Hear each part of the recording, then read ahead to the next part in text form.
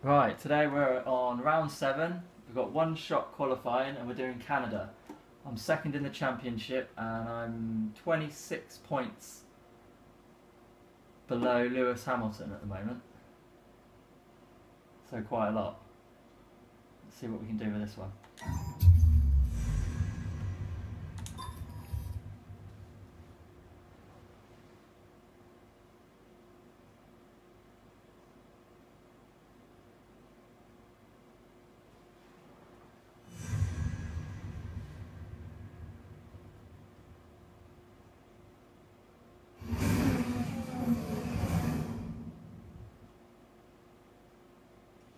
Good afternoon, and we hope you're ready for an exciting qualifying session as the teams make their final preparations here in Canada.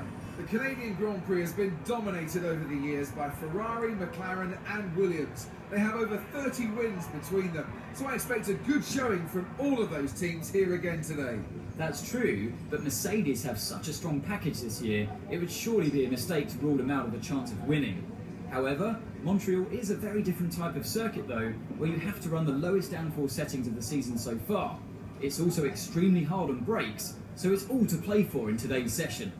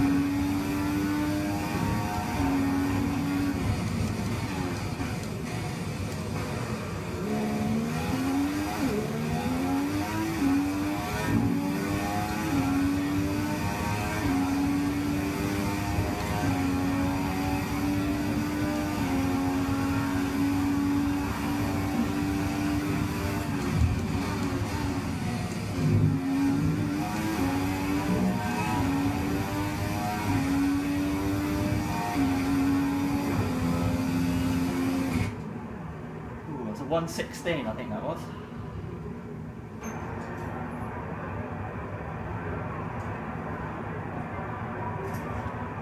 What a session it's been for Mercedes today. They've locked the front row of the grid for tomorrow's race. They've really worked hard this weekend, and it seems they've been able to set up the cars perfectly today. Whether this will translate into race pace tomorrow, well, we'll just have to wait and see. Right, so we're starting fourth on the grid.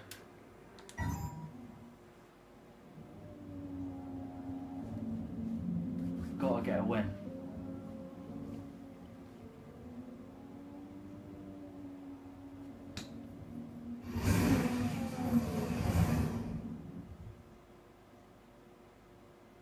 It's nearly 2 o'clock in the afternoon and it's time to go racing here in Montreal. The Grand Prix de Canada was a firm favourite of Michael Schumacher, who won here a record seven times. Many of our drivers today would be really happy just to win it once. Here's today's pole sitter, Lewis Hamilton. When I was speaking to him early on, I got the sense that he has total confidence in himself and his Mercedes car to take that race victory today. His work isn't done yet. He still needs to take the advantage of being on pole and turn it into a race win.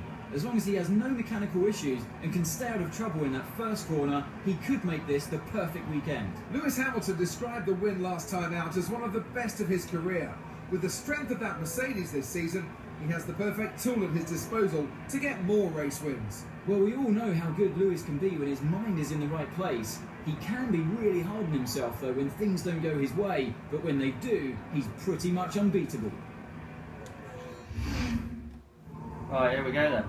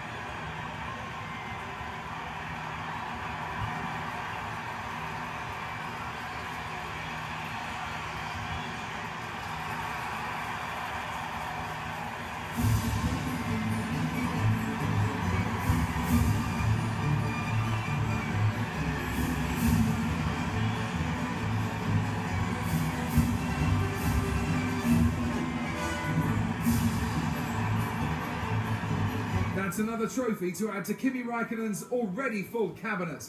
A race win for the Finnish driver in today's race. It was a fantastic performance and one that they should be very proud of. Every part of the team pulled together to achieve today's result. There'll be plenty more twists and turns to come this season. I hope you can join us at the next race to see just who will come out on top. Cool. We desperately needed those those points for sure. Um, like and subscribe for the next round. Thanks a lot for watching. Cheers.